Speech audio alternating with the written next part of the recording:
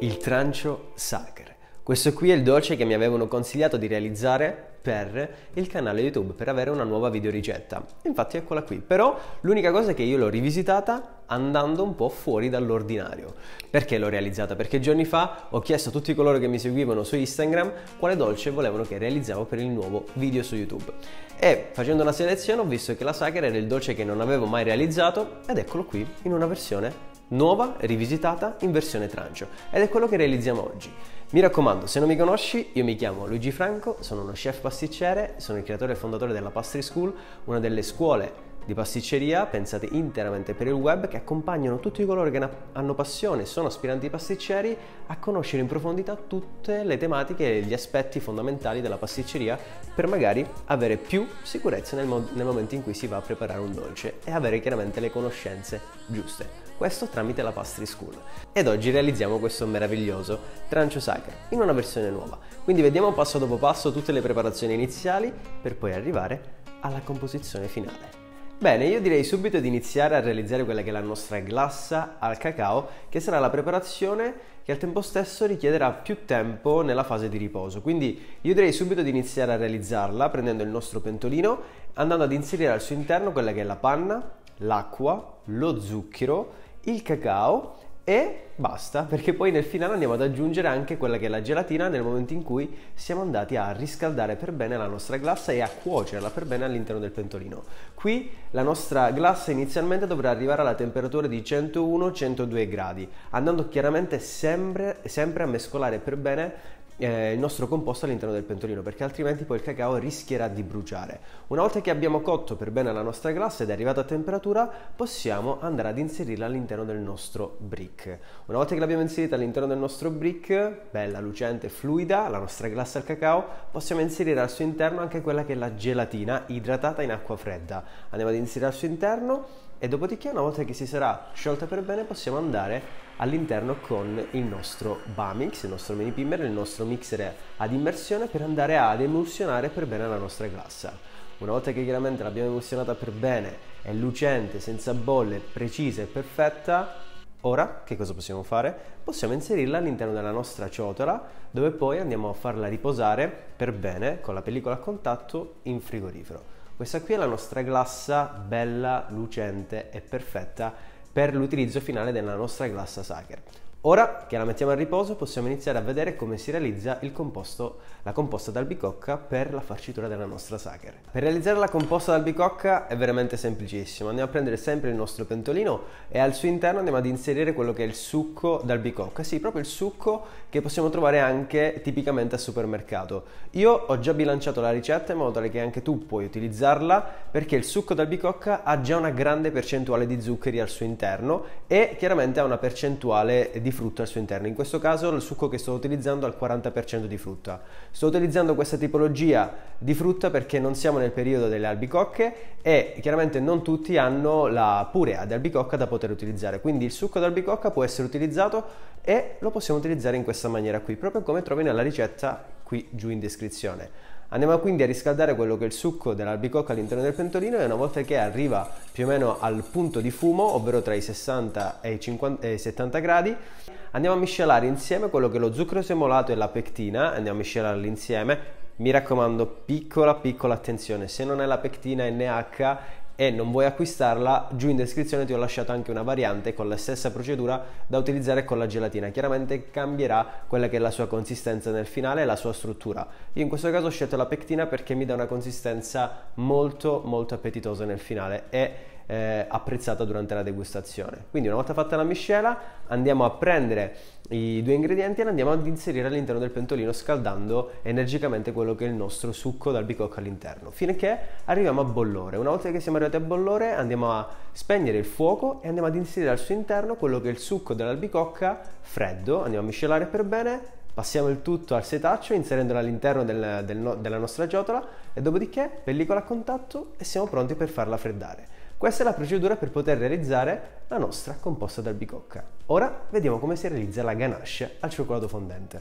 La ganache al cioccolato fondente, in questo caso un cioccolato fondente al 70%, quindi qualcosa di veramente super goloso, fondente, giusto giusto e ideale per la stagione invernale e chiaramente per realizzare quella che è la sacher. Per realizzare la ganache veramente ci bastano pochissimi ingredienti dove all'interno del pentolino, perché useremo sempre il pentolino, andiamo ad inserire quella che è la panna, lo zucchero semolato e il miele e portiamo il tutto a bollore. Nel frattempo andiamo ad inserire il cioccolato fondente all'interno della nostra garaffa e una volta che la panna è arrivata a bollore con lo zucchero e il miele possiamo versare il tutto all'interno della nostra garaffa.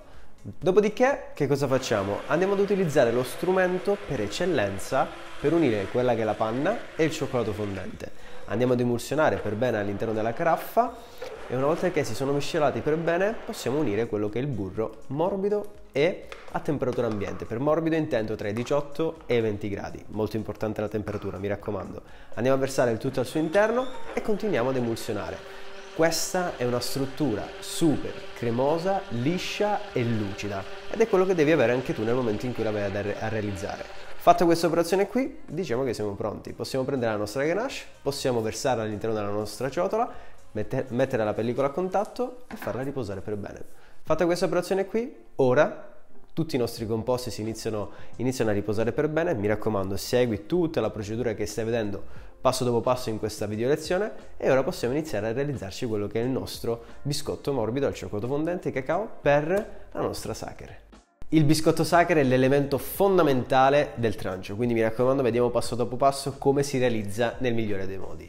Qui adesso andremo a far lavorare separatamente quelli che sono gli albumi e i tuorli. Nella planetaria andiamo ad aggiungere l'albume e lo facciamo lavorare singolarmente senza nessun ingrediente per alcuni minuti da solo per incamerare l'aria necessaria per il nostro biscotto sacre. Dopodiché andiamo ad aggiungere tutto lo zucchero semolato che fa parte per la montata di albumi. Separatamente nel bimbi, se non è un bimbi non è un problema, puoi usare qualsiasi tipologia di mixer, andiamo a lavorare i tuorli e lo zucchero semolato per alcuni minuti. Dopodiché andiamo ad aggiungere quelle che sono le polveri l'olio e la panna che fa parte della ricetta. Una volta che nel finale il composto che è all'interno del bimbi ha raggiunto una struttura compatta, cremosa e sostenuta, possiamo inserirla all'interno di una, di una bowl, di una ciotola e andare a prendere la nostra schiuma di albumi ben montata, cremosa ma non troppo montata, dove andiamo a prendere una piccola parte degli albumi e la andiamo ad aggiungere all'interno della ciotola. E da qui andiamo ad amalgamare il tutto per bene finché non arriviamo a una consistenza ideale, cremosa, da poter prendere tutto il composto ed aggiungerlo agli albumi che abbiamo lasciato all'interno della planetaria. Adesso dobbiamo andare dal basso verso l'alto, mi raccomando, dal basso verso l'alto, ad amalgamare che, quello che è il composto che abbiamo lavorato con il bimbi e con una piccola parte di albumi con tutti gli albumi che sono rimasti all'interno della planetaria. Dal basso verso l'alto, dal basso verso l'alto, boom, il nostro biscotto sacro è pronto. Adesso che cosa dobbiamo fare? Dobbiamo prendere l'impasto e inserirlo all'interno di un silpat con quello che sto utilizzando io, un silpat veramente classico che si può trovare ovunque adesso su, su per il web ehm, con i bordi, in modo tale che possiamo poi avere una, una livellatura semplice ed efficace per poi avere il biscotto perfetto nel finale. Andiamo a stenderlo per bene e poi andiamo in cottura a 175 gradi per 18 minuti all'incirca. Una volta che il nostro biscotto è pronto, possiamo iniziare a comporre nel finale tutto il nostro dolce. Ora direi proprio di assemblare quello che è il nostro trancio sacher. Dobbiamo prendere uno stampo rettangolare 20 cm di lunghezza, 12 cm di larghezza e 4 cm di altezza. Andiamo a creare quelli che sono i nostri biscuit, prendendo la forma del nostro stampo rettangolare e una volta che abbiamo ritagliato la forma dei nostri biscuit possiamo iniziare a comporre quello che è il nostro dolce. Una volta che siamo pronti con la nostra composta d'albicocca possiamo inserirla all'interno della sacca poche e andare a dressarla filo dopo filo e dressaggio dopo dressaggio sopra il nostro biscuit al cacao. Una volta che abbiamo completato tutta la stesura della composta, possiamo finalmente andare ad inserire in superficie quello che è l'altro strato del biscuit al cacao, veramente super soffice.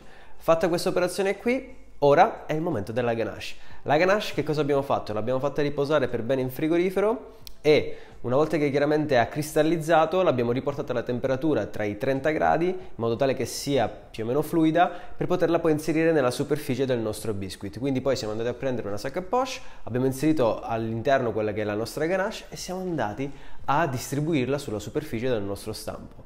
Abbiamo livellato per bene quello che è lo strato della ganache e una volta che abbiamo concluso questa operazione possiamo dire che il nostro trancio è pronto e ben assemblato. L'unica cosa che manca adesso è andare a glassare quello che è il nostro trancio sacher. Però prima dobbiamo andare a far riposare in frigorifero per bene, almeno nel congelatore, per almeno 20-30 minuti tutto il nostro trancio. Per quanto riguarda la glassa, ora la dobbiamo portare alla temperatura di 34-35 gradi con l'aiuto del Bamix senza incamerare bolle d'aria al suo interno. Una volta che la nostra glassa è arrivata alla temperatura ideale, possiamo iniziare a glassare quello che è il nostro trancio. Ci prepariamo per bene la postazione, mi raccomando lavoriamo puliti e ordinati perché è fondamentale per fare un, lo- un lavoro veramente ottimale e adesso possiamo iniziare a glassare quello che è il nostro trancio proprio in questa maniera qui. Questa è la glassa al cacao veramente super fluida, buona e spettacolare nel momento in cui poi andremo a degustare. Ma non è finita qui perché adesso arriva la parte più bella. Adesso dobbiamo iniziare a tagliare i nostri tranci. Una volta che abbiamo fatto questa operazione qui possiamo poi iniziare a prepararci la postazione, andare a prendere quello che è il nostro trancio sager glassato e iniziare a rifilare prima i lati e poi andiamo a tagliare trancio dopo trancio dopo trancio dopo trancio. Questa è la nostra sacher nel finale ma adesso che abbiamo tagliato i nostri tranci sono venuti veramente in una maniera ottimale, super belli, buoni, golosi non vedo l'ora di assaggiarli e di condividerli, ma manca la cosa fondamentale, ovvero dobbiamo andare adesso a decorarli con le nostre placchettine di cioccolato veramente super semplici. Andiamo a metterli uno ad uno su in superficie, proprio come stai vedendo adesso, e dopo i nostri tranci sono pronti. Possono essere degustati e questi tranci qui devono essere degustati alla temperatura di 4 gradi. Questo è il nostro trancio sacre. Nel finale possiamo dire che la torta è veramente ricca di cioccolato e di cacao, quindi ha un gusto molto caldo e astringente su alcuni punti di vista.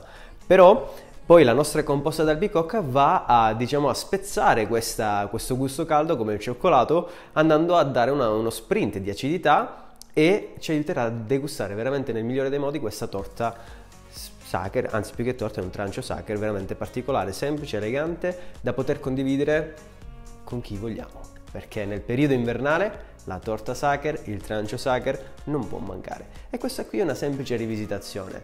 Questo è il nostro trancio Sacher. Se ti è piaciuto il video e hai trovato utile tutti i contenuti che abbiamo condiviso all'interno di questa videoricetta, mi raccomando lascia un like, iscriviti al canale e ti aspetto nella prossima puntata.